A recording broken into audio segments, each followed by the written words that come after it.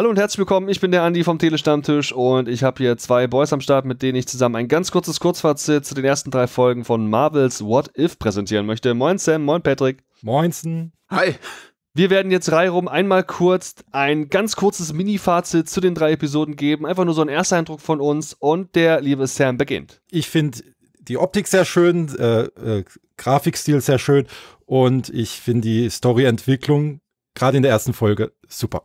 Patrick, wie sieht's bei dir aus? Ich mochte bisher alle drei Folgen. Es ist wirklich eine Wundertüte für MCU-Fans, die mit einigen Twists aufwartet, die man so nicht auf dem Schirm hat. Am 11. August startet die erste Episode von insgesamt zehn, die wir bekommen werden auf Disney Plus. Und ich bin sehr angetan von den ersten drei Ausgaben. Das ist wirklich ein großer Spaß für Fans des MCU, der toll aussieht und vor allem auch in der ersten Episode sehr actiongeladen ist. Guckt unbedingt rein.